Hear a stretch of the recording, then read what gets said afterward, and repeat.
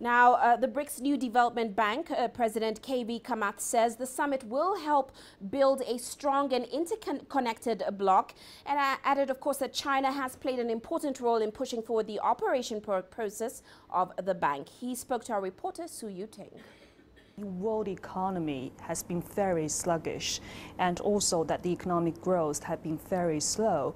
There are huge challenges facing the BRICS countries. So what role do you think that the uh, new development bank will play in boosting the economic uh, recovery of these countries? As I said, uh, economic cycles are uh, always present. Uh, they keep going in, know, swings up and down. And at this point in time, there is a slightly downward spiral, particularly in the commodity industries.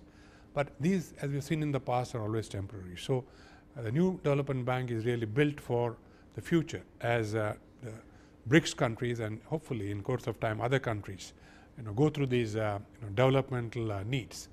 At this point in time, you know, our belief is that uh, some of our members could be impacted by uh, the commodity cycle, but it's going to be short-lived has strong growth and I am sure growth will be strong on a larger base in China and growth will be strong on a slightly smaller base in India and indeed in our other member countries. And uh, we look forward to assisting the upcycle uh, as it starts turning very soon.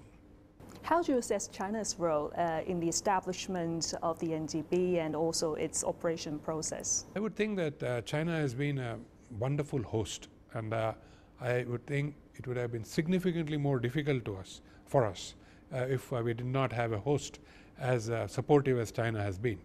Both China as uh, central government and Shanghai as uh, our uh, provincial government and host city have been extremely helpful and cooperative in enabling very many things for us, which otherwise could have put us back by maybe a year or so.